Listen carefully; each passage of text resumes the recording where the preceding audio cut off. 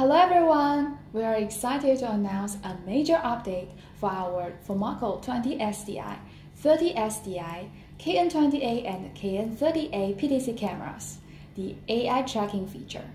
This feature uses monocular tracking, meaning it tracks objects in 2D space with just one camera. It detects and follows objects, estimating movement and orientation without the need for multiple cameras. Without further ado, let's dive into how this tracking works and go through a step-by-step -step guide on how to use it. First, let's look at the tracking shortcut keys F1 to F4 on the remote control. F1, disable AI tracking. F2, enable AI tracking.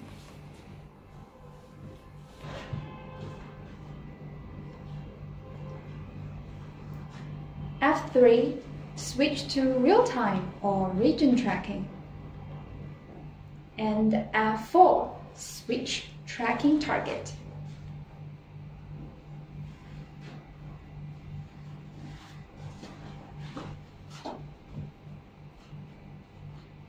Okay. Next, let's take a look at the more advanced settings available on the web interface.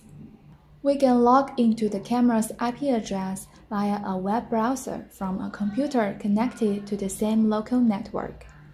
Navigate to the tracking settings and scroll down. The first section is monocular tracking, where you can enable and disable AI tracking.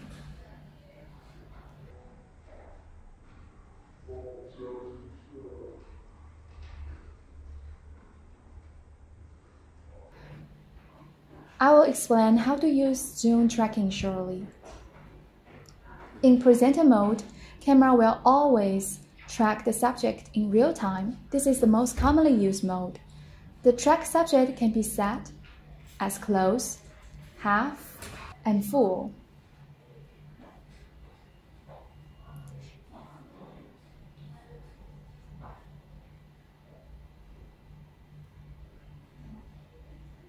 If you enable Click Track, you can switch the tracking target by simply clicking on different person.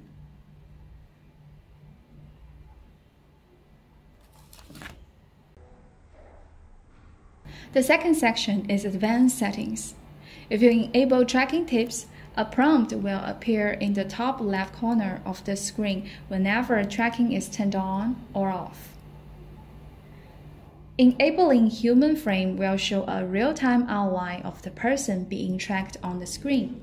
If you turn it off while live streaming, viewers won't see any of your tracking operations.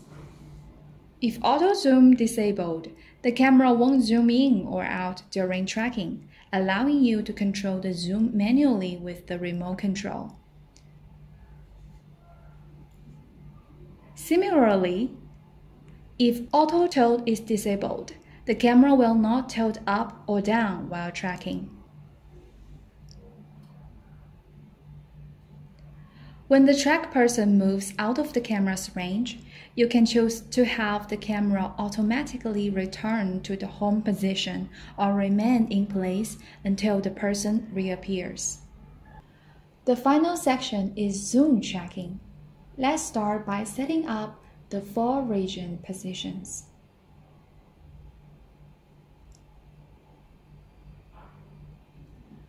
Zoom tracking should be configured from left to right with a slightly overlap between regions to ensure smooth transitions.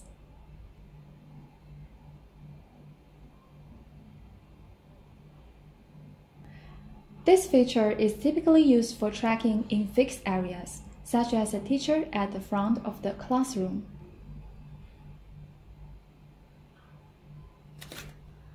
To protect students' privacy, the camera's tracking zoom can be limited. As long as the teacher stays within this zoom, the camera will follow them. If the teacher steps outside the zoom, the tracking stops, ensuring that students don't appear in the camera's frame.